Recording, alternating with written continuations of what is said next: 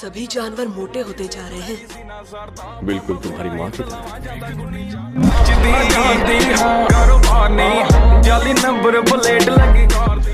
सारे यार नहीं बैठे बाहर नहीं। कटे जान नहीं जो लगा डाकू